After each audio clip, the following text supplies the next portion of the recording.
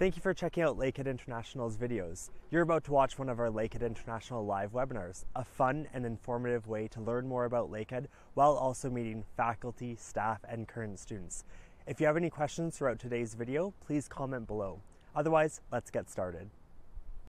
Hello, everyone, and welcome to another Lakehead International Live. My name is Jordan Ball. I'll be your host today, and I'm excited to be joined by a special guest, Dr. Alla Reznik, who I'll introduce in just a moment. But First and foremost, I want to thank you for joining us, whether it's your morning, your afternoon, or your evening. We certainly appreciate your time and we hope you're excited to learn more about medical imaging. That is our sample lecture here today in the International Lecture Showcase. Um, we've been hosting these lecture showcases uh, since last week, and we still have a few more to go. So stay tuned for some exciting news about upcoming events. But without further ado, it's time to introduce Dr. Alla Reznik, and I'll pass it over to her to introduce herself. Thank you very much, Jordan. Uh, hello, everyone. Thank you for joining uh, our session. My name is Alla Reznik. Uh, I'm a professor in the physics department, and uh, I also hold a position uh, as Tier 1 Canada Research Chair in Physics of Radiation Medical Imaging. This means that my research is devoted to the fundamental studies as well as uh, uh, research and development on radiation medical imaging. I have to admit that I am a pure physicist for training. By, uh, by training, uh, I received uh, my both master's degree and PhD degree in solid state physics. However, I devoted my career to the most humane area of application of physics that is healthcare and medical imaging. So I'll pass it over to Jordan to start our session. Well, thank you again for joining us. I'm certainly excited to learn more myself and from such an experienced professor of ours. It's time to dive into today's mock lecture, and I'll pass it over to Dr. Alla Reznik.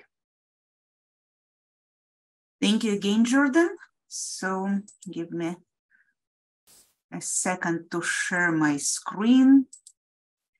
And uh, now we're all set uh, to begin my uh, presentation, which is again titled The Medical Imaging in the Eyes of a, a Physicist, Engineering, or Computer Scientist Student.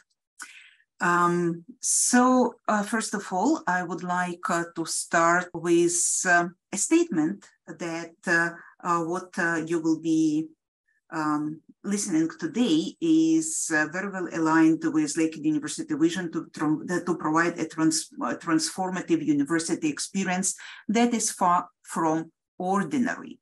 And research, uh, which is, um, I will uh, introduce you to, is uh, the part of this very interesting uh, environment at our university. So Lakehead University is ranked number one um, for undergraduate university for research opportunities. And this is applicable to both, uh, of course, uh, graduate and undergraduate students.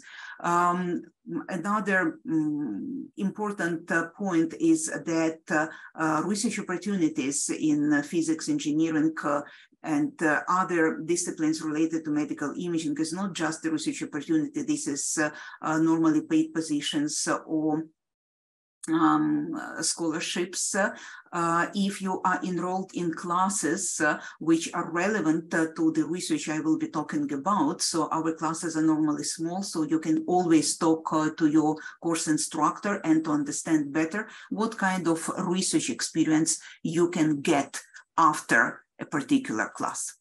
So if we will talk about physics department uh, where I'm from, so we have different streams in our physics program, but one of the interesting um, specialty in our uh, physics department is honor bachelor in physics with major concentration in my biomedical physics. And this uh, uh, program, again, this is uh, physics with major concentration in biomedical physics, provide the roof for the research on medical imaging, uh, which I will be talking to you today. Uh, so uh, why actually it is uh, quite important for uh, students in physics or engineering uh, to be involved in research in medical imaging because this provides a solid foundation for a future career. So um, if you are interested in uh, uh, relevant uh, career like uh, um, radiation oncologist, interventional oncologist, or just medical imaging scientist, or um, you're interested in working in relevant industry in Canada. So this program and this research is uh, a nice fit uh, for your career goals. So uh, this is really a collaborative degree. We're talking about biomedical physics. This is really a collaborative degree that uh, provide with necessary technical and professional skills to enter various careers in healthcare, including medicine, medical physics, uh, dentistry, and pharmaceuticals, as I and other disciplines which I just mentioned, for example, uh, radiation oncology.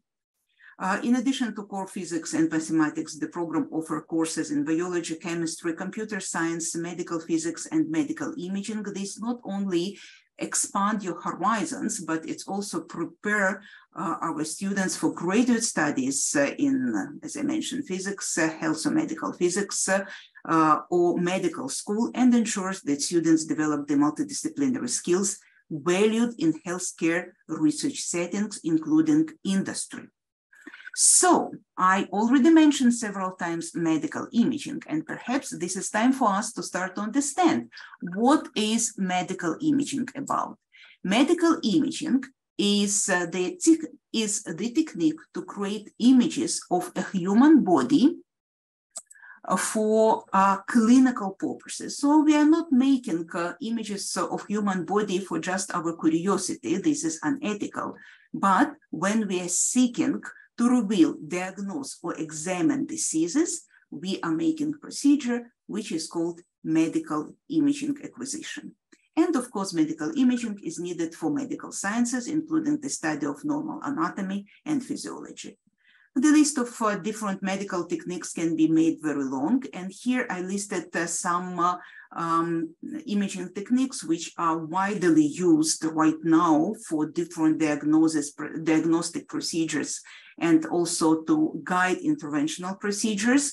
This, uh, this includes X-ray imaging.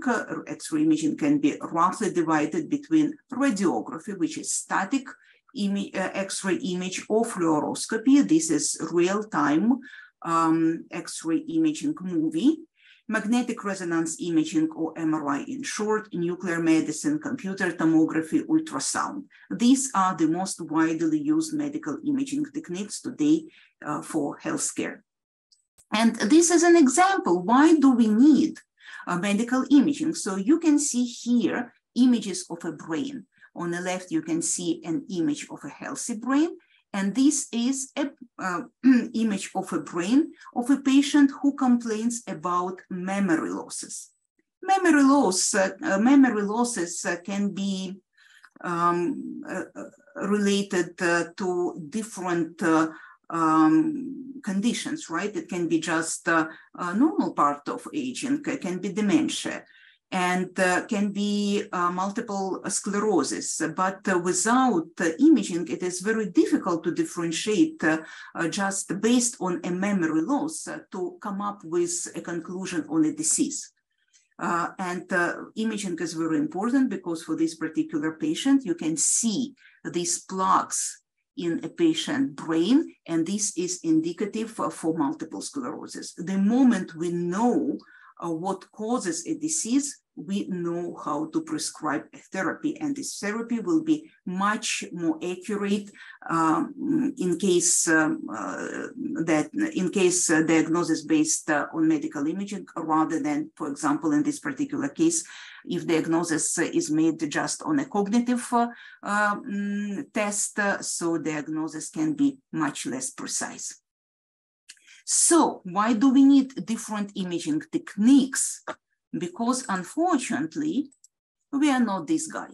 So this guy, you may know, this is a Terminator. He doesn't need any imaging technique because he has imaging technique built, uh, built in in his eye.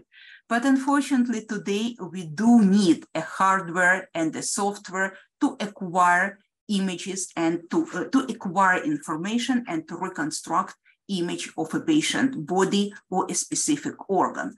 So this is a slide of different modalities currently used. I refer to X-ray imaging for laparoscopic procedure.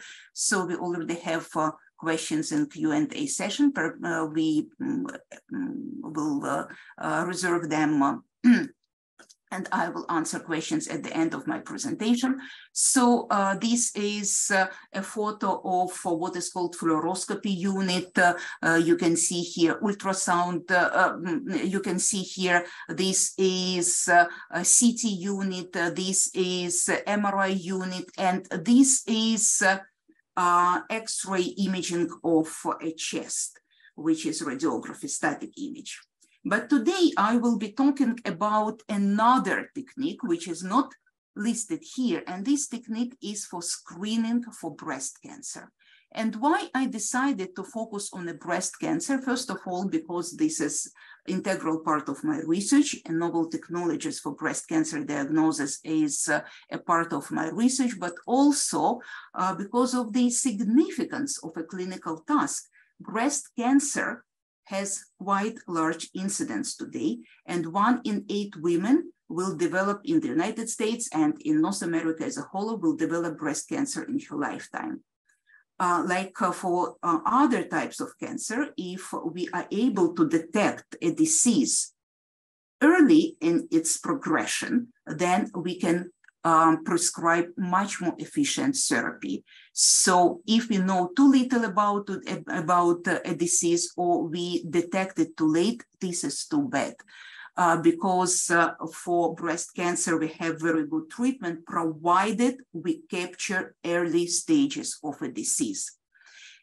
So what, uh, what uh, are available today in healthcare to screen uh, women for the for breast cancer. And screening means that uh, all women, because of the high incidence of breast cancer, all women after a certain age, they are prescribed a procedure which is called X-ray screening of breast with mammography. So absolutely all women of above certain age are recommended to have mammography screening.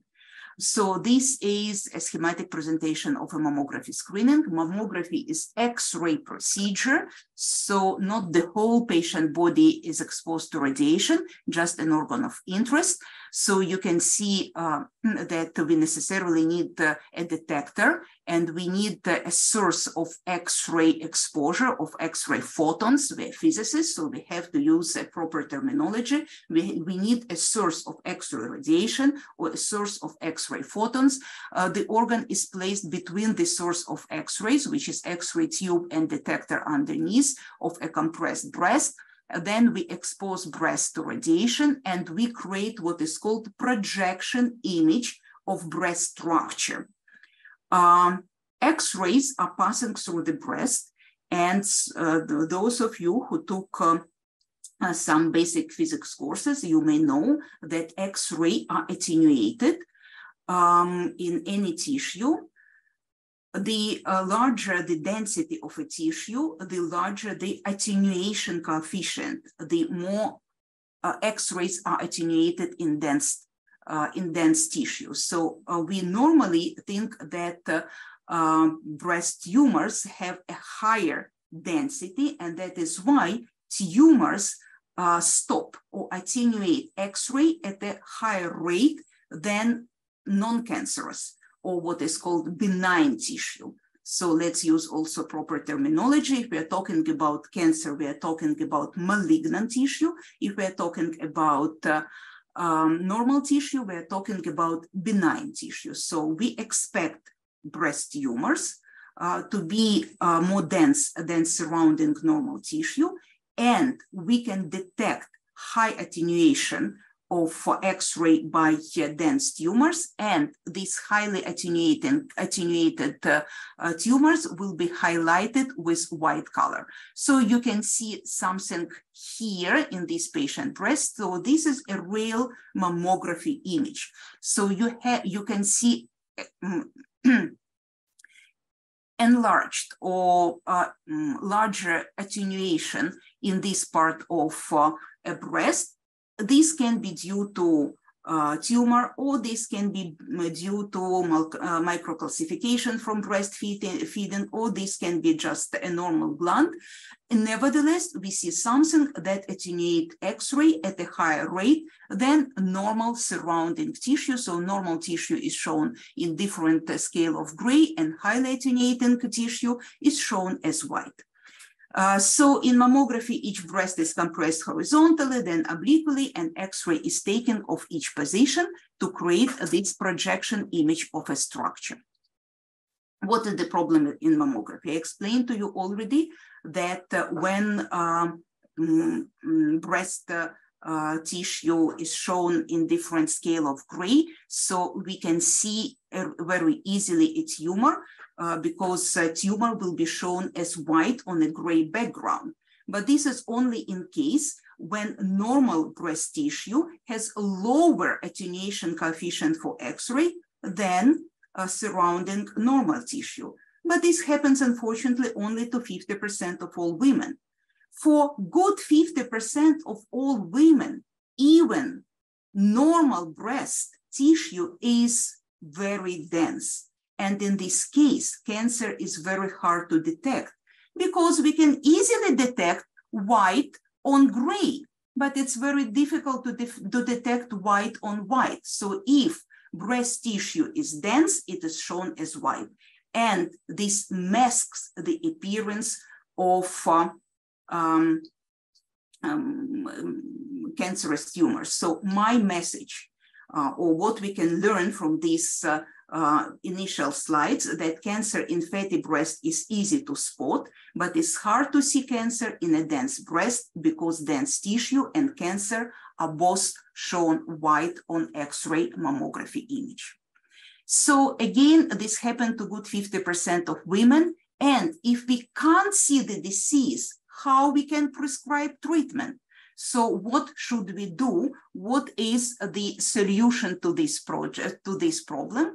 The solution is different type of imaging, which is called molecular breast imaging with positron emission tomography. Positron emission tomography does not detect abnormal density of a tumor, but it detects what is called fingerprint of cancer. Fingerprint of cancer is increased glucose metabolism. Cancer is sugar avid. It needs more glucose for its abnormal growth. And this is the basis for positron emission tomography. We're using a radioactive analog of glucose. This is called fluorodeoxyglucose.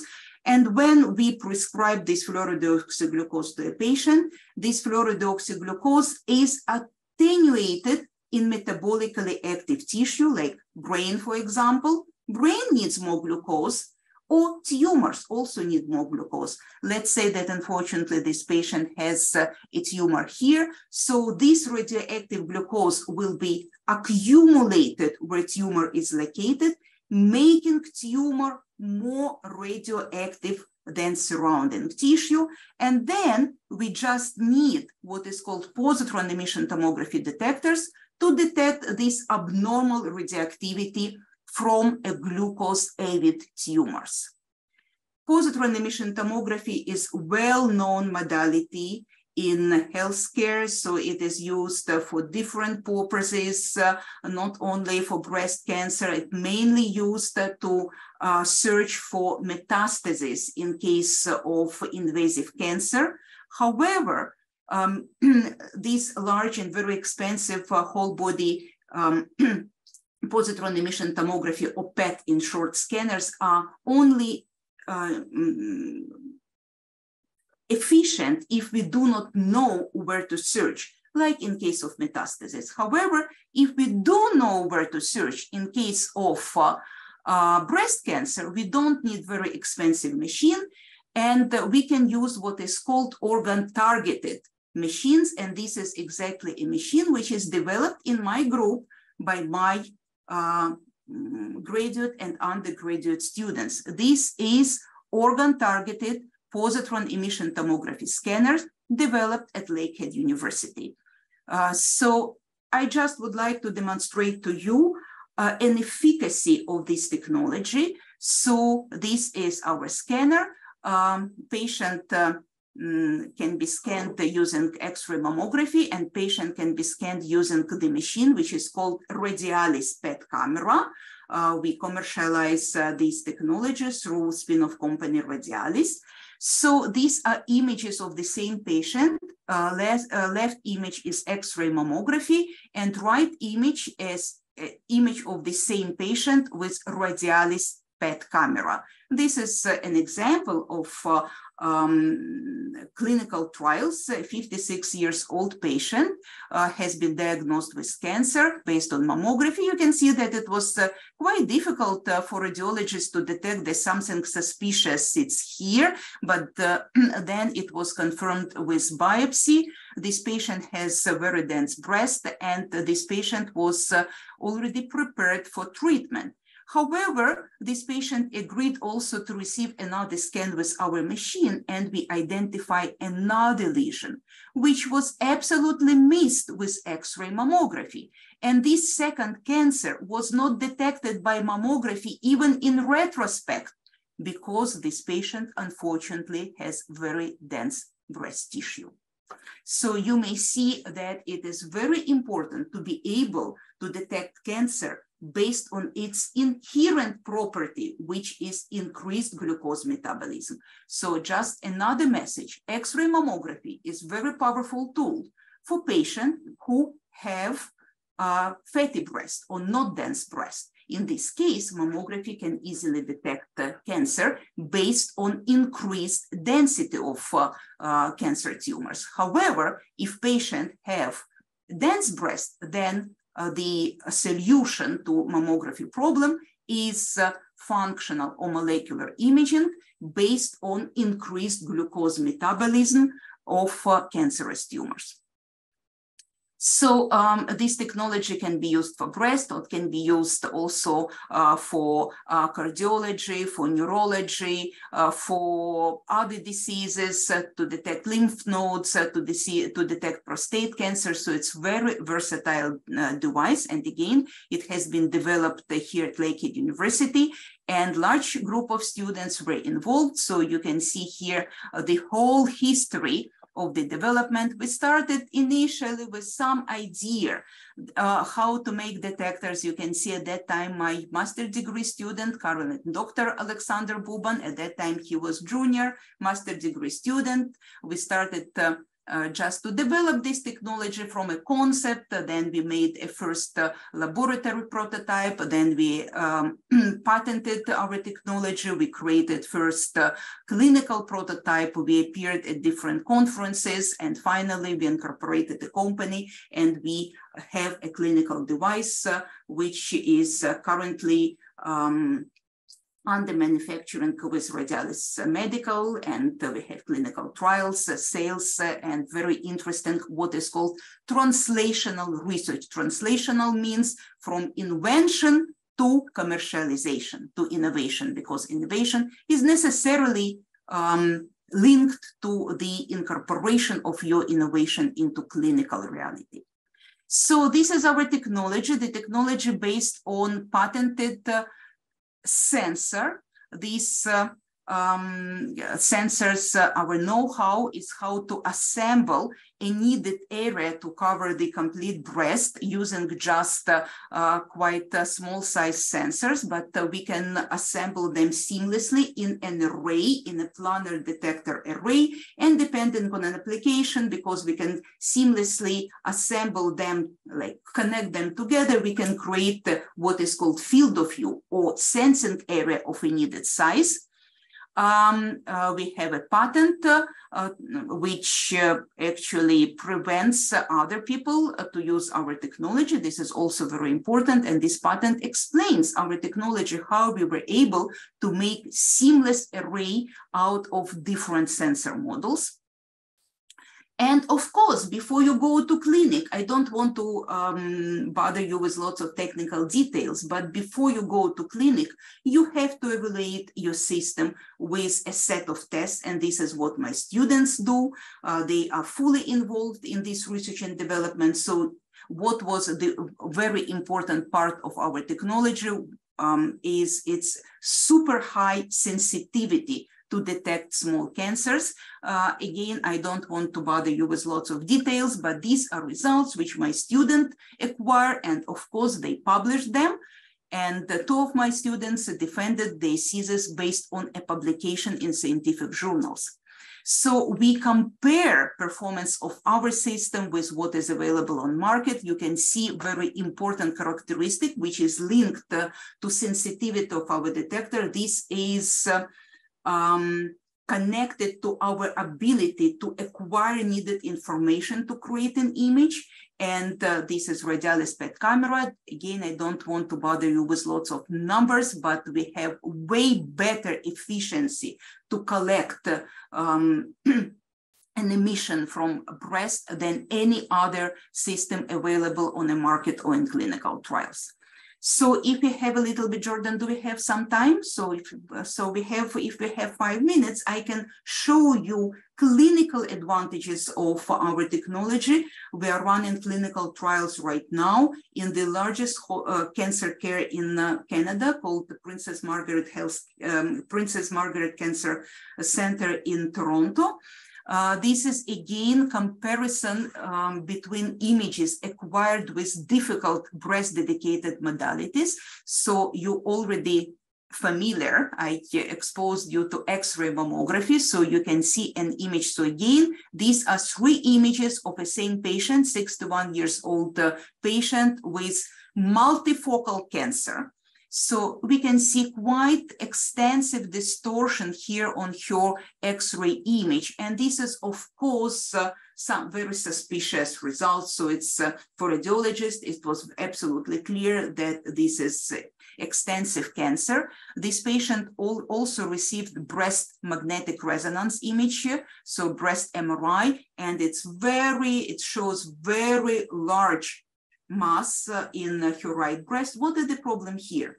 The problem is that imaging detects and diagnosis is based on sampling a tumor so with what is called biopsy. Just small pieces of tissues are needed to be taken for um, evaluation under a microscope. And if tumor is very large, uh, physicians do not know which part of a tumor is more, most representative to make a decision about treatment. And when this patient uh, received the scan with our technology, you may see that this large mass is not regular. So it's actually multifocal cancers. We can see this increased contrast in image, and it's very important because now radiologists do know, and interventional radiologists do know that they have to take a piece out of this part rather than in between these foci, because otherwise diagnosis will be not very precise. So these bright um, spots here indicates most representative part of a tumor, which is very important for precision, uh, for precise diagnosis. This is uh, also uh, another um, examples of uh, uh, enhanced uh, contrast in two spots. So again, very important to um, take a sample out of the most representative part of its humor. And uh, this is a case which is very difficult for me to talk about. Uh, this patient, it's a young patient, 33 years old, high risk female patient. Uh, this is her um, breast MRI. This patient has uh, very dense uh, uh, breast tissue and uh, MRI shows multiple rounded and oval shapes enhancing masses in both breasts. Uh, it's very difficult case uh, for physicians because again, lots of suspicious objects are shown in both breasts, but the problem is where to take a biopsy from uh, it's impossible to biopsy every uh, part of a breast. And this patient decided that to avoid the risk of invasive cancer, she uh, will uh, go ahead with uh, bilateral breast surgery. So removal of all breast tissue. This is called mastectomy. Um, she also agreed to make a scanning with our machine, and you may see that um, our machine uh, didn't uh, uh, show any enhancement.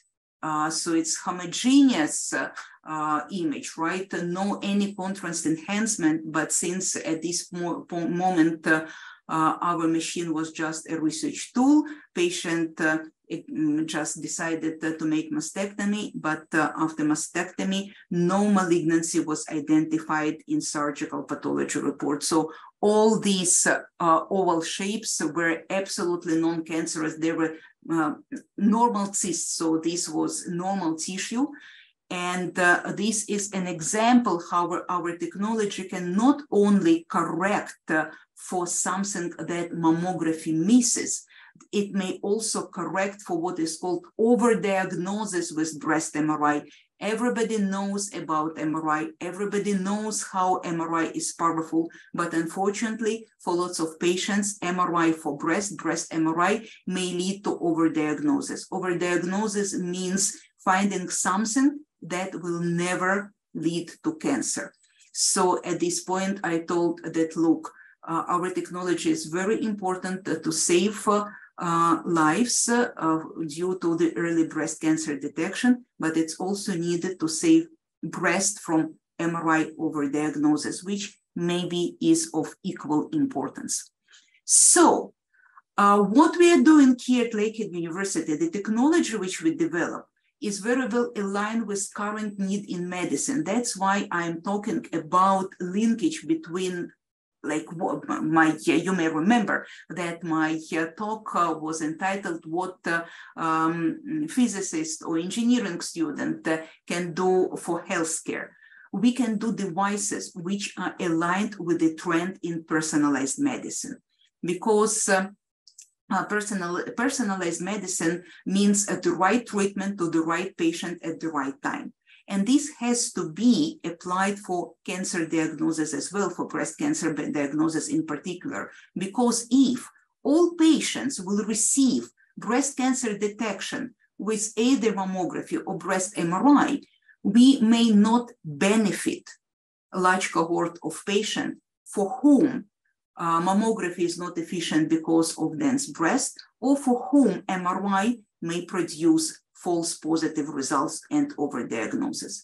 So an idea to make different imaging modalities, which will benefit particular groups of patients. So for patients for whom mammography works well, they can still use mammography. Patients for whom um, breast MRI doesn't produce any suspicious but inconclusive results should go ahead with uh, breast MRI, but patients uh, for whom molecular uh, imaging uh, provides most benefit should take uh, an advantage of our developed technology.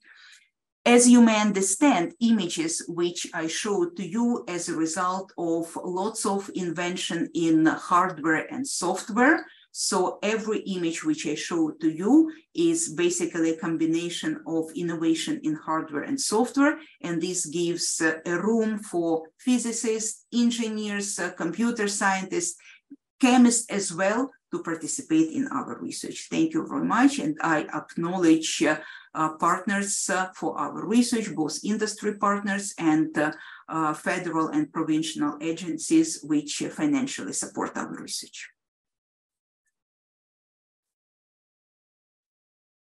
Awesome. Well, thank you very much for that uh, presentation. I can't say enough about how this research and, and, the technology that your team has developed will save lives. I'm, I'm sure of it. And I know through the clinical trials and through your own reporting, uh, you've been able to develop and determine the same.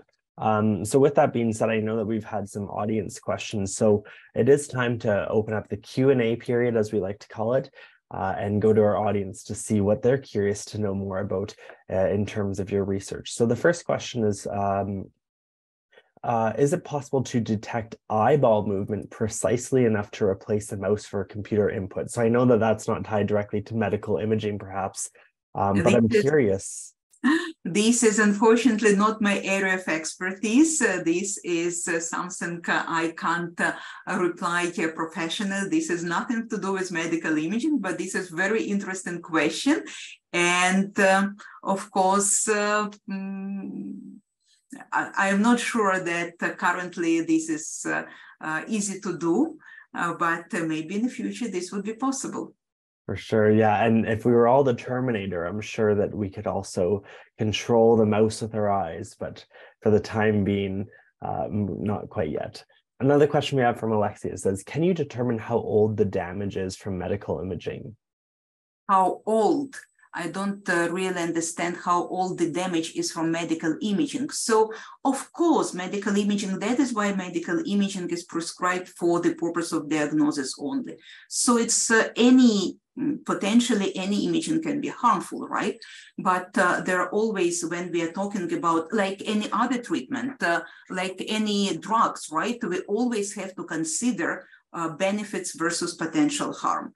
But uh, for diagnostic imaging, we use a so small amount of radiation that uh, the risk of uh, uh, harm is uh, much lower than benefits from early diagnosis. So again, this is good question. We always have to consider benefit to risk ratio. But again, medical imaging is prescribed, prescribed when it is needed so that benefits are much larger than potential harm.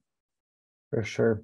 Another question from Katya it says, how does your new technology get shared in the medical community inside and outside of Canada? So I'm sure you'd be happy to share and speak to what your pathway was to sharing this technology worldwide. Uh, Katya, this is a great question. So when I just uh, started uh, to talk, like, uh, like a good 10 years ago, there was a conference uh, in Canada called Alternatives uh, to Mammography, which I attended, and this was a trigger. This was in 95, uh, eh, sorry, it uh, 2005. And uh, uh, this was a trigger for all our activities. I met people interested in alternatives to mammography there. And we started our research, and it was a collaborative research between uh, two radiologists and myself. So one radiologist was in Toronto, another radiologist was in uh, uh, Maryland, uh, in the States. So um, it uh, actually was an international effort. Uh, of course, we are very well connected with medical community inside and outside of Canada. We normally present uh, at uh, conferences Uh, mm, conferences relevant uh, to uh, technology development. the major conference is IEEE uh, Medical Imaging and uh, Nuclear Sciences Technology Conference. My group normally is presented and represented there uh, quite extensively. Um, in uh, a couple of days on uh, May 15, this there will be a World Congress on Healthcare in Toronto, and we have two invited talks there. Actually, we will, so my uh, right-hand man, um, Dr. Alexander Bubon, with whom we started. You, I showed uh, uh, the history of the development, uh, so he will uh, present an invited talk there. So it will be medical conference. So we are trying to be connected with people who will help us uh, to advance our technology because there is always room uh, to improvements, right? We can uh, uh, make it uh, more sensitive. Uh, we can make more versatile detector design. So there is lots of ideas uh, how we improve our software and hardware. And we are also trying to be well collected with medical communities by going to different conferences, by um, just making survey here, just raising key opinion leaders so that uh, different medical imaging modalities are needed for precise uh, breast cancer diagnosis or personalized breast cancer diagnosis. Great, thank you. Another question from Lily. It says, what kind of research opportunities related to medical imaging exist for undergraduate students in the biomed physics program? This is an excellent, another excellent question. Thank you for asking. So uh, we are running today. We have an opening for summer school on medical imaging. So uh, since uh, this year, we actually uh, changed the name. It is called the summer school on health technologies. So to incorporate uh, professors in kinesiology, for example, which is not really medical imaging, but it's also technologies for healthcare. Uh, mm, so we provide uh, paid positions for undergraduate students uh, to um, start to understand what is medical imaging about, because we uh, we realize that if students will never be involved in uh, research at the undergraduate uh, level, right? It will be very difficult for them to make a decision about graduate studies. So the question is, we have lots of placements, or we have reasonable, let's say we have reasonable amount of placements uh, for summertime to be involved in research in medical imaging and biotechnologies. And uh, this is uh, just uh, uh, beyond uh, medical imaging, but uh, we have medical, pure medical imaging research, including X-ray imaging, including uh, molecular imaging, including cyclotron activities, including MRI. Uh, and of course, you have to be, so the competition is uh, significant, but all students with high academic standing. So we normally choose students who excel in their courses and in their studies they are normally employed during summertime if they're interested.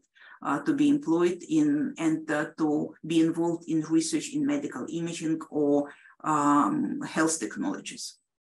Great. That ties in nicely to a new question we just received. It said, how do you choose students who do you work with? Is it based on grades? And what do you recommend to students being yes. qualified to participate in research? Is this is yes, this is very accurate statement, uh, Jordan. Yes, because uh, uh, all students uh, deserve to be involved, right? But if you have a high competition, of course, students who put uh, much more effort uh, in their academic part of their life, right? They have large chance, chances to be selected for some research activities. Good to know. Um, a question from ZA. It says how do we personalize the medicine to treat the right patients at the right time? Is it something called targeted med drug?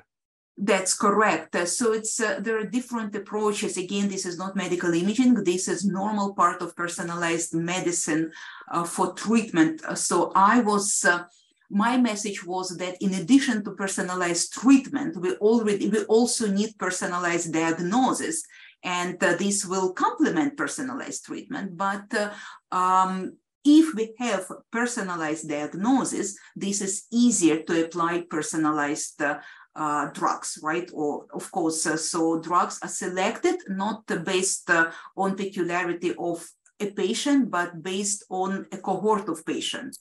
It's maybe some genomic uh, um, evaluation or peculiarity of a disease, which group uh, patients uh, patients in different cohorts, and then a drug is uh, uh, prescribed based on some common features of a certain cohort of patients. And this is applicable to medical imaging as well, because again, an example of breast cancer. So it has to be, patient has to be grouped based on breast density, for example. For those patients who have dense breast, uh, and we know that mammography is inefficient, then molecular imaging should be prescribed. But for patients uh, for whom mammography works well, there is no any need to prescribe any other type of uh, diagnostic imaging.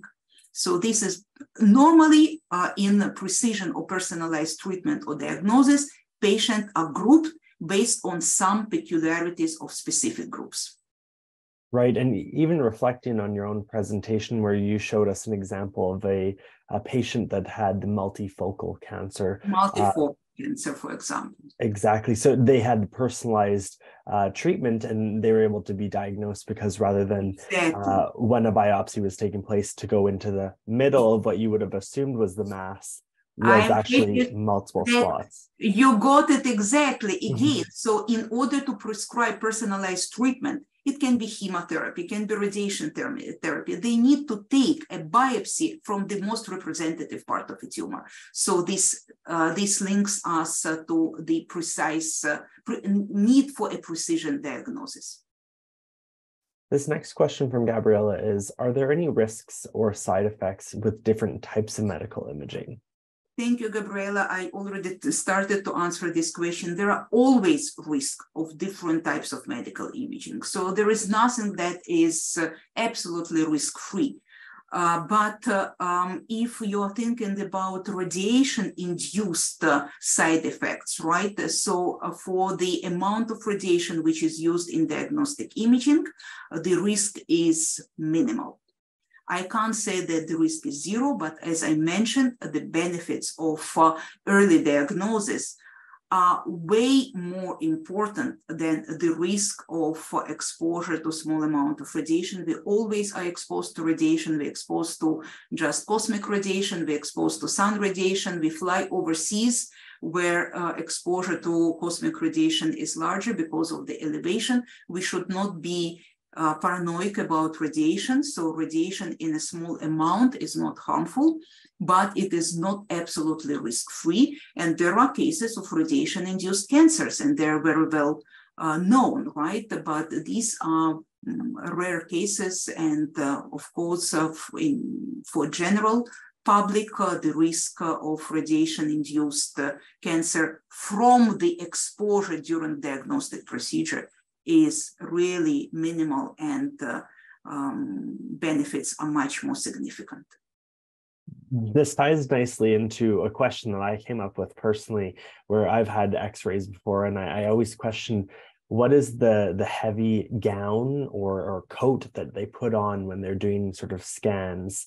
I would imagine that it protects you from that radiation, but could you explain to the audience what, exactly. what that is this exactly? Is, this is a great question, but you may imagine that patients come and go and for patient procedure lasts for one minute. And technologist is there or radiation oncologist is there all the time. And they do not receive direct radiation, but they receive scattered radiation because radiation uh,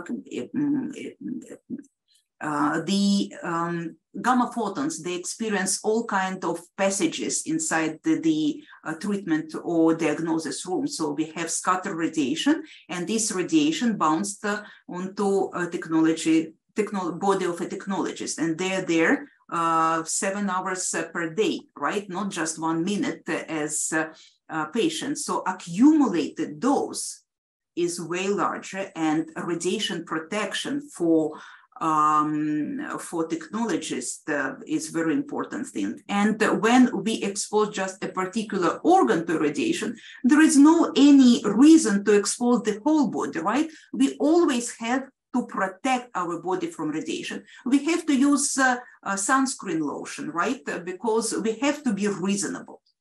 But uh, then we have to protect but if radiation is needed for diagnosis, we should not be paranoid about radiation.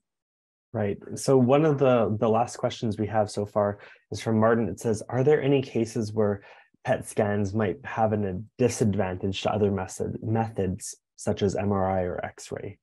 This is also a great question. So um, first of all, disadvantages is uh, the cost of uh, every procedures. That is why we have uh, for patients, this is discomfort patients have to go to, so it's not just in one day. So patients have uh, to go to a clinics, wait, right? So this is uh, uh, every time you have extra scan, you worry about results. so there are also psychological effect uh, particular harm from a procedure is much, so it's not just a harm like some um, or radiation induced or things like that. This is, uh, you have uh, to uh, imagine a complete story.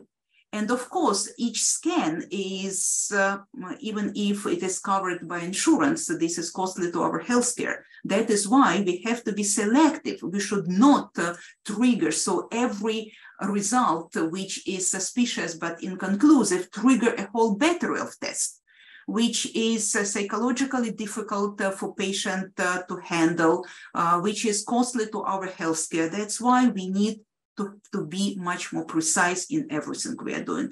However, uh, just uh, there is no like healthcare, direct healthcare harm from a procedure. I would say that it's uh, almost zero. But if we consider extra uh, diagnostic tests in a much larger picture, we should understand that it is better to avoid. So unneeded tests have to be avoided. And unneeded or unnecessary biopsies have to be avoided as well.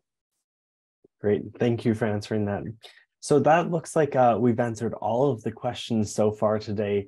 Uh, I want to take this opportunity for thanking you for joining us, Dr. Reznik, and sharing more about medical imaging and the impact it has on patient care, but also the impact of, of our own students and their ability to participate in this research uh, and perhaps where that may take them in the future.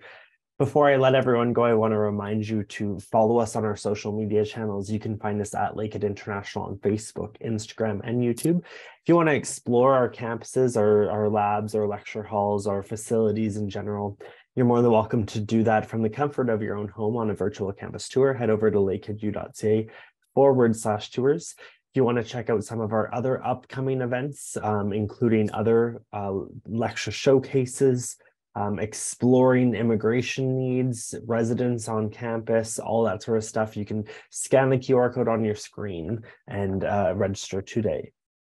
Thank you again so much for joining us, folks. It's been a pleasure to be your host. And thank you one last time to Dr. Reznik for joining us. I know it's a busy time of the year. And I mean, quite frankly, you're always busy with your research. And uh, we certainly appreciate your time joining us today. Uh, with that being said, though, hopefully we'll uh, see everyone again shortly at one of our upcoming events. Otherwise, I'll wrap it up here and say bye for now. Bye for now, and thank you, Jordan. Thank you. It was pleasure talking to everybody. Bye-bye. Bye. I hope you enjoyed the video. If you have any questions, I want to encourage you to comment below or connect with us on social media. We can be found at Lakehead International on Facebook, Instagram, and YouTube. Thanks for watching once again, and hopefully we'll see you at the next live webinar. Bye for now.